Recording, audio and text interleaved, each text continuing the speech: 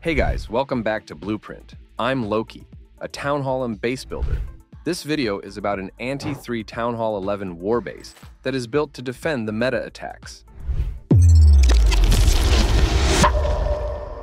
At Town Hall 11, Zap Witches and Zap Dragons are the most used armies, and this base is focused primarily on defending them. Let me give a brief idea behind the base.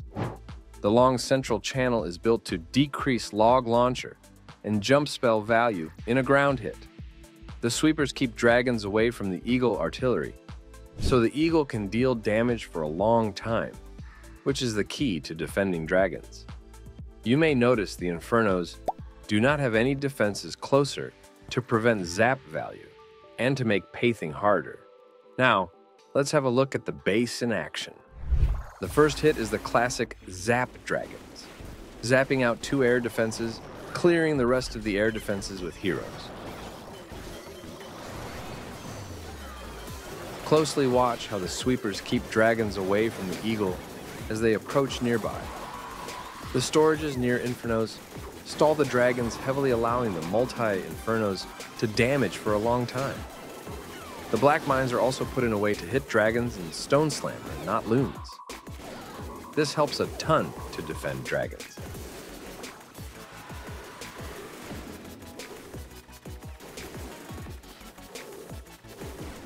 The defensive queen also comes in handy when defending dragons as she can do heavy damage. And you can see that's how this base held the dragons.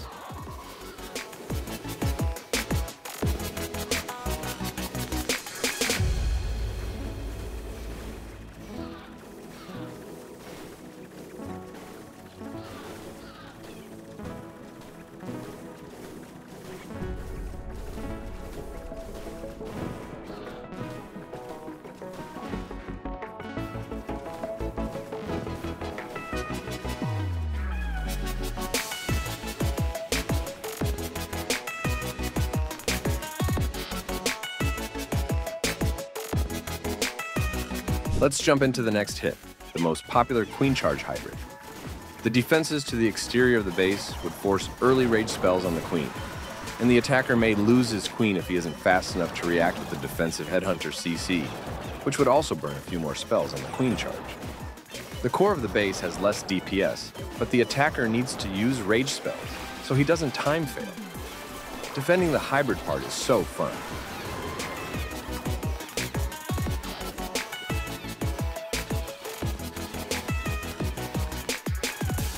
Since the Infernos have a strong defense ring around, the Hogs go around the ITs and way forward while the miners stay stuck on the storages, resulting in Hog-Miner split, which makes it easier to defend Hybrid.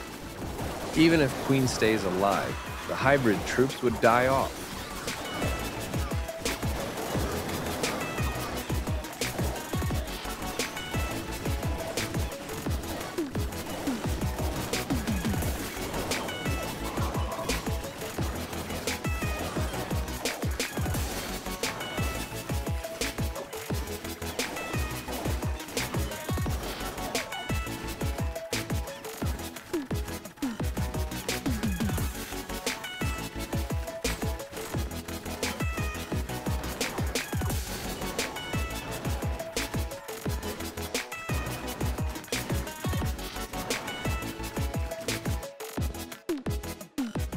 Here comes the final hit, the most feared Zap Witches. The base already has an advantage since it doesn't give any additional zap value around Infernos. The traps are completely put against witches, so witches will have a hard time. Bombs are put perfectly for witches,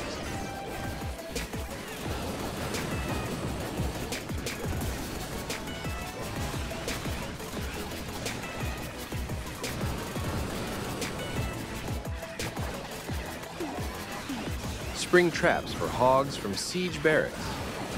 The mass headhunter CC would also melt King's health so quick, which is an added advantage. The long compartment makes the troops to keep walking to other end of the base, while the unreachable expos help clear the troops. The defensive king serves as a heavy tank, surrounded by wizard tower and bomb tower that melt the skeletons summoned by witches, making witches and heroes vulnerable. So I hope you like this base. The base link is in the description. Use it to gain advantage and let us know your reviews in the comments below. We'll be back again with another anti-3 base video. Until then, happy clashing.